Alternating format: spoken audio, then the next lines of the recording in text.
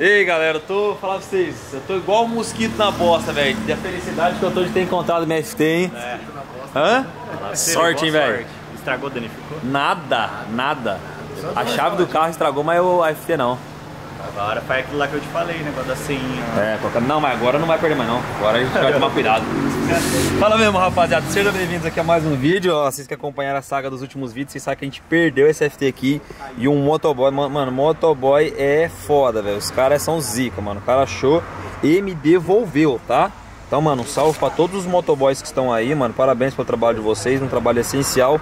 E, mano, honestidade mil por cento. O cara me devolveu isso aqui, tá, rapaziada? Então, mano, não tem nem o que falar pra vocês. Não é todo mundo que encontra as coisas dos outros e devolve, né, mano? A gente sabe que em todo ramo aí tem pessoas boas e pessoas ruins. Graças a Deus eu encontrei um, né? Que eu acredito ser a grande maioria, que foi honesto e que me devolveu.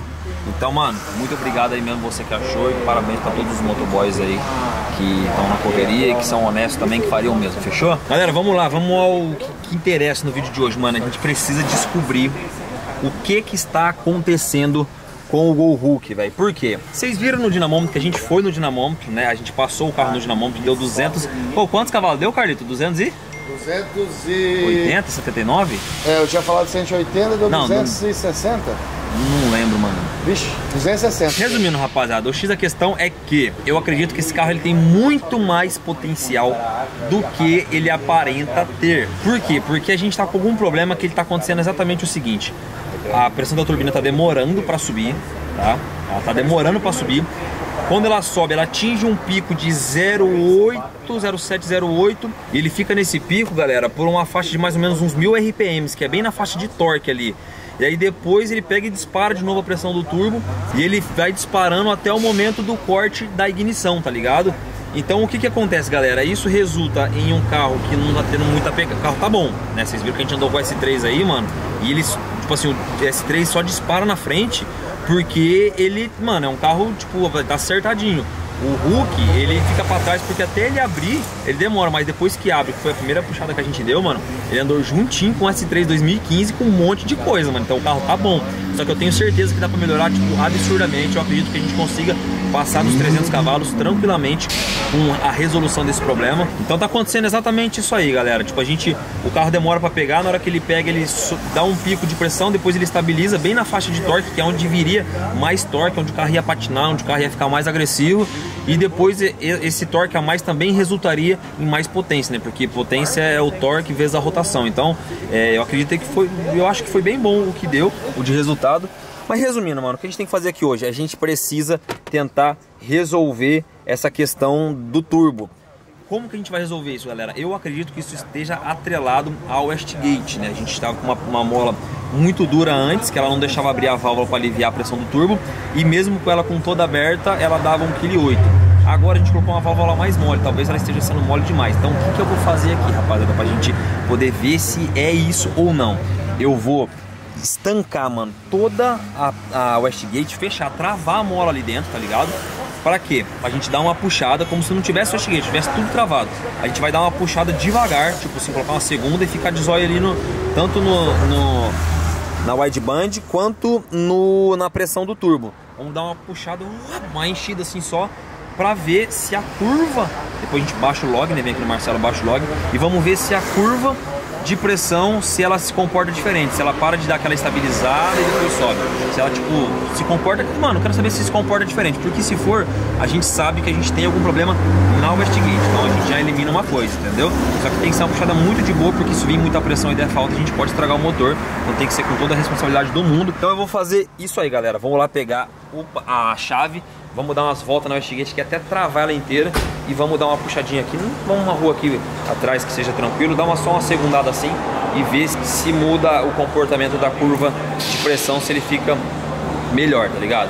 Se a gente conseguir resolver esses problemas, mano, a gente vai fazer uns testes lá na Rua do Grau depois e tal, e a gente vê que o carro melhorou bastante, a gente volta depois outro dia lá no dinamômetro de novo e passa de novo pra gente ver os resultados, fechou? Foi, tio? Tá procede? bem o Westgate. Você travou? Você vai fazer um teste.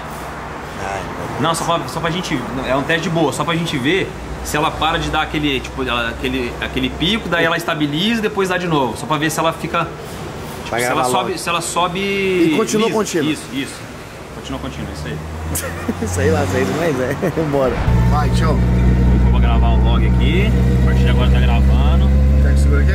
É, segura aí, né? Tem que ficar de zóio no, O quê? no- tudo. Grava e olha tudo. Ai, que medo! Vai. Terceirinha. Pisa. Chama na X. Quem você óleo aqui? Peraí. Dois quilos. É, agora ele subiu liso, mano. Dois quilos de pressão.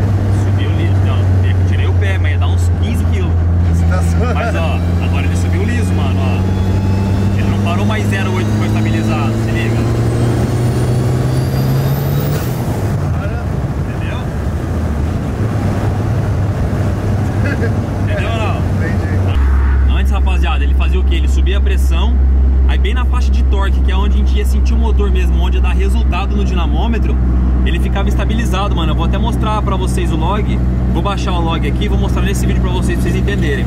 E agora a gente acabou de fazer um log aqui, tipo, o carro malemar ganhou, ganhou rota- rotação, E já, já- veio pra 1,7 de pressão, ou seja, As o problema tá na regulagem da mola da Westgate ali mesmo, eu acho, viu, galera? Vamos ter que achar uma mola Trocar a mola bem termo. é, uma mola intermediáriazinha ali, ó.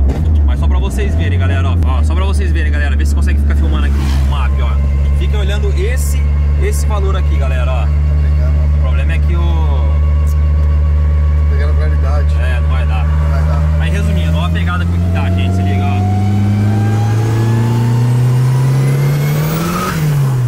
Terceira, mano. Forte. Entendeu ou não? E ele não forte. tava fazendo isso nem fodendo. Não, não. Falar pra você, se tivesse acertado esse carro com essa pressão, o S3 ia passar mal do lado dele. Ah, com certeza. que se já foi junto daquele jeito, É mano. o óleo tem que E ó, muita gente ficou comentando assim: ai, que decepção, pouca, pouca potência, não sei o que, tudo isso. Gente, vocês têm que entender que, primeiro, o carro tá em desenvolvimento. Segundo, tem coisas que a gente precisa acertar, por exemplo, isso aí, entendeu? Eu vi que muita gente gostou do resultado, mas muita gente ficou criticando: ai, por que, que você tá acertando? Leva pra alguém acertar, gente. É problemas mecânicos, não é problema de mapa, entendeu? O mapa tá bom, mano, o ma- o mapa tá top. Eu tô aprendendo, tô aprendendo, mas o mapa vai ficar cada vez melhor. Então, tipo assim, eu preciso aprender a fazer as paradas, entendeu? Mas o, o problema que a gente tá tendo aqui, eu tenho certeza, certeza não, acabou de me provar aqui, vou parar de gravar o log. Acabou de me provar aqui, galera, que é um problema mecânico que a gente precisa acertar, nada mais, entendeu, rapaziada? Mas vai ficar top, mano. Deixa a gente acertar isso aqui, a gente vai voltar lá pro dinamômetro, vamos fazer outra passada pra gente ver se a gente consegue ganhar mais potência com a mesma pressão do último vídeo lá do dinamômetro, fechou? Tá cheio o problema. Achou? Aham. Era Eu acho que é a mola mesmo, galera. Ó, vou explicar pra vocês aqui o que estava acontecendo no dinamômetro e o que, e o que influenciou muito nos resultados em números de potência. Ó, essa aqui, galera, foi a puxada, a última puxada que a gente deu no dinamômetro, feita em quarta marcha também. Se vocês olharem essa linha aqui, ó, vou deixar só a linha, a linha do RPM, do TPS eu vou tirar, vou tirar todas as, vou deixar só a linha do boost para vocês verem. Ó, isso aqui e esse sai.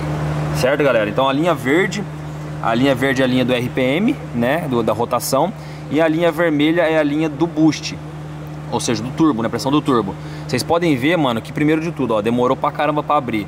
Vamos falar assim, ó, com 3,100 ele começou, né, ele lá no dinamômetro, ele com a, com a Westgate regulada para dar o dar a pressão que a gente desejava, né? Mas eu acho que como a gente colocou uma mola muito mais mole, porque com a mola que veio na Westgate ela era muito dura. Então, tipo, mesmo com a Westgate toda aberta, ela dava muita pressão ainda. A gente queria ter opção de regular mais é, pressões menores. Então a gente colocou uma mola, mas talvez essa mola tenha sido muito mole. Por quê? Com 3.100, 3 3.100 RPMs, ele começou a dar 0,1 press- 0,1 kg de turbo, né? 0,1 bar. Vamos ver agora aqui com a Westgate toda fechada. Ó, com 2,700 ele já deu o mesmo resultado que, que a outra mola, que a Westgate no dinamômetro tinha dado com 3,100. Então a gente já ganhou aí 3,200 quase, já ganha 500 RPM para a turbina começar a abrir mais cedo. Começa por esse detalhe aí, tá, galera? E aí, olha só, se vocês forem observar aqui, eu vou até tirar a curva do RPM aqui para vocês verem, ó como que era a linha do boost. Ele vinha quase com o motor praticamente sem pressão de turbo, até 3.200 RPM praticamente, galera. Entendeu? Aí depois ele vinha, crescia, pegava, aí ele caía não, ele mantinha, né? Ele, ele vinha aqui até 0,7 mais ou menos, e aí de 4.300 RPM até, vamos dizer bem aqui, ó, até que 5.000 RPM, ele variou tipo um bar de pressão, ele bem dizer, ele estabilizou em 0,8 aqui, que é bem aonde ia dar um número forte no dinamômetro.